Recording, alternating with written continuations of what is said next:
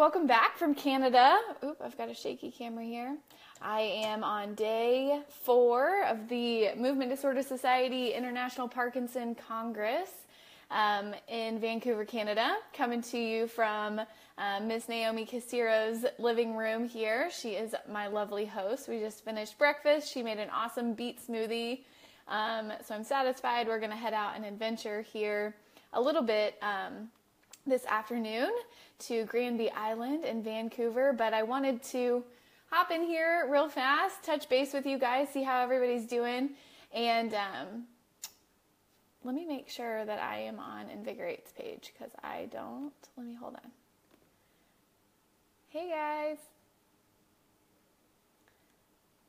Making sure I'm on Invigorate. Okay, just making sure that I was on the right Facebook page. Because my personal friends probably um, don't really need to hear all about Parkinson's dystonia, which is what we're going to talk about today. So I know I got a lot of questions from you guys about dystonia um, to kind of come to Vancouver and answer questions. So I wanted to do that for you guys today before we head out. So, as far as dystonia is concerned for Parkinson's, dystonia is a whole world in and of itself. And before I get started, I just want to say that if anything became clear while um, I am in Canada about dystonia, um, it's that you, if you have symptoms of dystonia, which we'll talk about here in a second, you really need to be seeing a movement disorder specialist. Um, again, a movement disorder specialist is a specially trained neurologist who can help really parse out what's going on with your neurological symptoms. Parkinson's is a movement disorder, and um, they're just very specialized in knowing the latest treatment options, the most up to date research on um, your dystonia, dyskinesia, you know, Parkinson's in general. So, um, below this video, I'm going to post the um, find a practitioner kind of calculator that you can go in and put where you live in the world um, and to see if there's a movement disorder specialist close by because you need one of these on your team. And something else I've been learning about that we are not going to cover today is this telemedicine aspect for people with Parkinson's. It's growing. There are so many um, universities and organizations that are putting together some telemedicine options where you can access a movement disorder specialist online. And I'm going to be talking about that more later this week, hopefully. Um, but just know that just just because you don't have someone close by, there may be an option virtually, because technology is amazing, for you to be evaluated by a movement disorder specialist to help you identify what's going on with your dystonia and then how to best treat it. So, um, I just I'm going to hop in here real fast and we're going to go through some of these questions that I got. And if you have more questions about dystonia, just put them in the comment section below. Um, give me a thumbs up, a heart, you know, whatever you're feeling like today if you are um, tuning in. So, the first question, obviously, that has to be answered is what is dystonia? So, dystonia is this persistent or intermittent, so it can be constant or fluctuating, uh, muscle contraction causing abnormal and often repetitive movements, postures, or both. So you can have a dystonia that makes you move funny. Um, you can have a, a dystonia, that contraction that makes you kind of twist, or both. So usually those movements are twisting or patterned in some way, and they may resemble a tremor. So often dystonia is initiated or worsened by voluntary movement. So you're going to do active, you're actively doing a task like writing, and you start to get these um, muscle contractions. And the symptoms may, those contractions may go from one muscle to multiple muscles. This is called overflow. So that is generally what dystonia is. And um, that is important for you to recognize if that's going on with you. That's um, a symptom that you should be bringing up to your movement disorder specialist. So, as far as who diagnoses and treats dystonia, I just hit on this, but a movement disorder specialist, um, their their kind of process is to first identify it. So they have this algorithm that helps them identify if it is in fact dystonia um, then you can go through this process of getting an electrophysiological examination, which is highly recommended to see what muscles are involved. And then the movement disorder specialist would classify it and then would give the recommendation for ways to treat it. So, again, um, I'm going to post a link below to how to find a movement disorder specialist below this video um, so that you can see if there's someone close by. So, the next question that I got is where does dystonia come from? And, you know, what causes dystonia in Parkinson's? And this is a really great question, and I am not sure that I've heard the full on answer here in Vancouver. But what we are learning and what we know is that dystonia has a really large genetic component in its development. Um, there are a lot of genes in your DNA that can leave you predisposed to developing something like dystonia. And dystonia and Parkinson's, um, we'll talk about here in a second. You can have dystonia without having Parkinson's, and you can have Parkinson's without having dystonia. There are some genes that leave you predisposed to having dystonia with Parkinson's, but then there are some genes that just leave you predisposed to only having Parkinson's or only having dystonia. So, something that I want you to take away from that um, point is that there's this concept of epigenetics, and epigenetics just means that your environment influences how your genes end up expressing themselves. So, just because you have a genetic predisposition, maybe you have a gene that leaves you predisposed to developing dystonia or Parkinson's or any other health issue for that matter. Um, you have the genes, but what you put in your body and the way that you manage your stress and the way that you eat and the way that you think about yourself, even um, mindset, how much stress you have in your life, whether it's physical, mental, toxic, toxic burden, your environment is what pulls the trigger. So the phrase is, your genes load the gun, and your environment, everything around you, pulls the trigger. And so, if there's anything that you should take home, it's that the way everything you're doing, exercising, eating right, um, taking your supplements, breathing deep, everything that you do like that influences the way your genes express themselves. And um, you know, keeping that in mind as you go through your day to day. You're not just eating healthy because somebody told you to. You're eating healthy because every time you put something in your mouth, you're either feeding your DNA great things or, you know, encouraging them to potentially express some of these negative symptoms. So, where does so the next question is where does dystonia present with Parkinson's?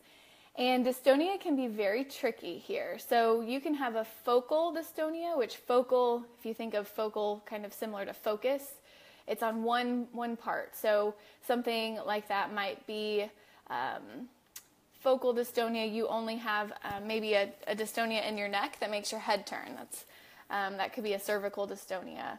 There's also generalized dystonia. So you can have dystonia that's maybe in your whole body.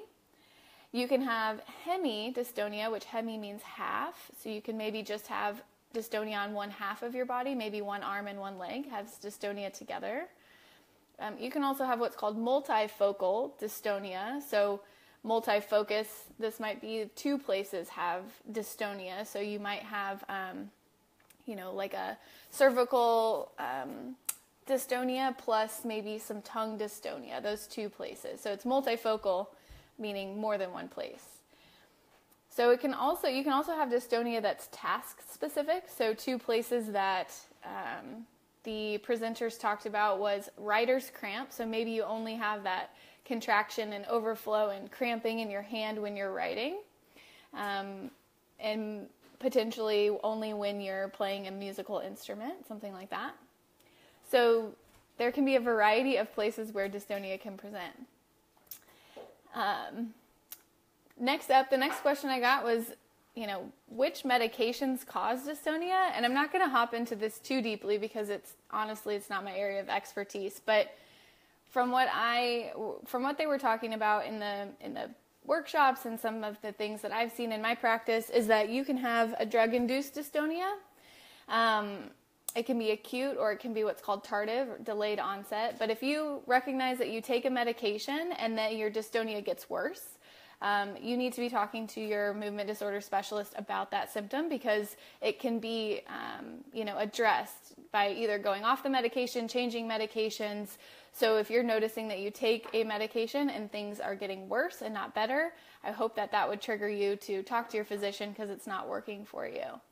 Um, and even if you notice that you started a new medication, but you didn't develop those worsening symptoms until a few weeks later, a few months later, it's still important to talk to your doctor because it can sometimes have a delayed onset of that worsening of symptoms. Okay, so how this is the fun part how to treat dystonia. So I'm going to run through this really fast, and there were some suggestions for treatments of dystonia that um, you might go down depending on what kind of dystonia you have.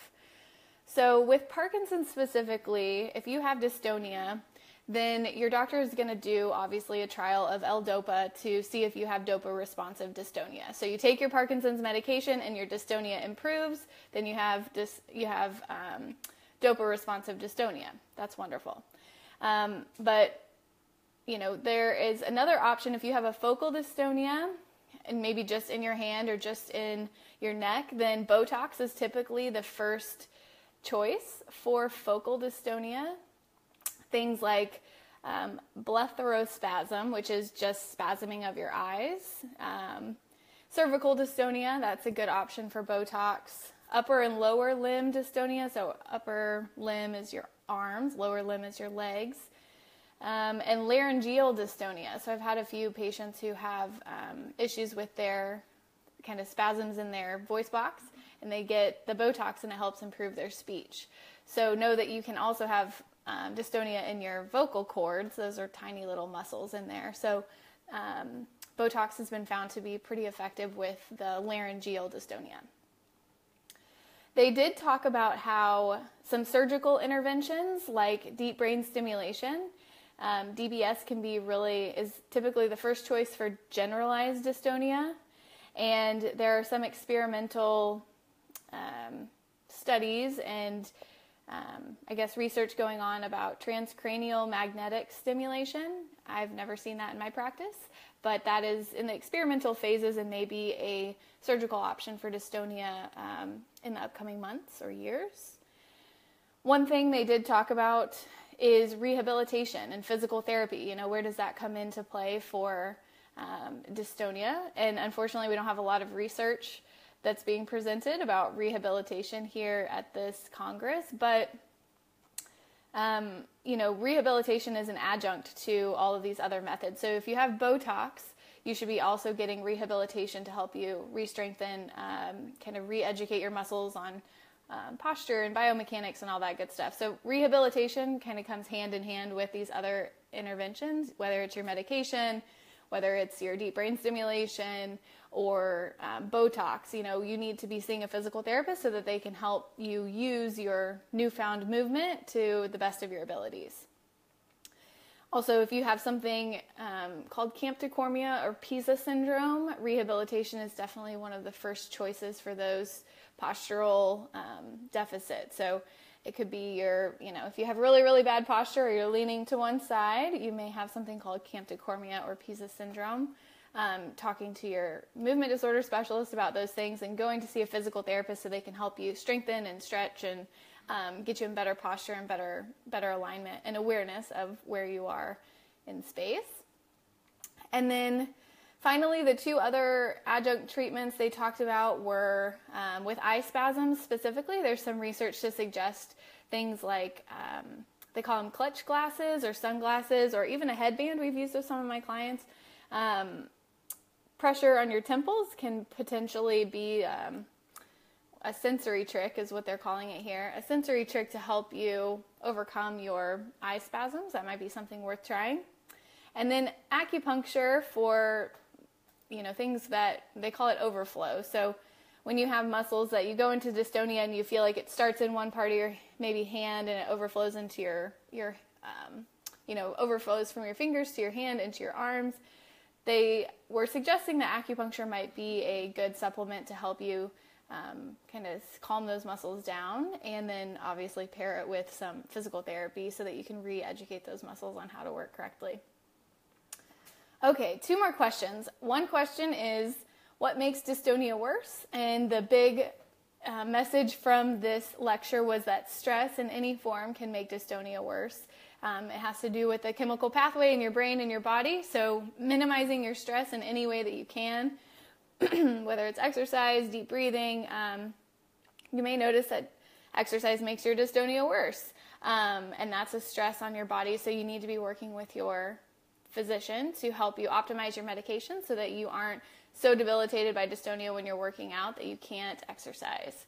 But if you're, you know, doing a lot of stress management, that should help your symptoms calm down just biochemically the way that your your body responds and your brain responds. So really prioritize reducing your stress. It can help with your dystonia symptoms quite a bit. Okay, and then the last question we have here is just how is dystonia different from Parkinson's? And again, you can have dystonia without having a Parkinson's diagnosis. You can have Parkinson's without having any dystonia. Um, a lot of times, you know, they can overlap. You can have dystonia and Parkinson's, and it just seems like the genetic component is a big contributor to whether or not you have one or the other or a mix of both. So you really need to be working with your movement disorder specialist in any capacity to help you differentiate your treatment options depending on where you are specifically. So I hope that that was helpful for, for dystonia. If you have any other questions that maybe I didn't cover, that I can reach out to some of my colleagues here. Um, I'm happy to answer them. Just put them in the comment section below. And we are, Naomi and I, from uh, Naomi from NeuroFit BC, we're going to go explore today at Granville Island, and then I'm going to plan on coming back to you guys a little bit later today um, to talk about some other topics that I learn about later. So today, actually, I'm headed to a food and gut and Parkinson's workshop, and you all know that that's like one of my favorite things ever. So that sh- that update should come probably tomorrow, but later today we may be talking about exhaustion and um, some other kind of non-motor signs like blood pressure and um, all that good stuff. So stay tuned for that. I appreciate you all. Share this if you felt like it was helpful. Um, you know, share with friends, family who maybe um, just don't have a lot of access to resources. And of course, if you have any other questions, just post them below. So we will talk soon. All right, bye.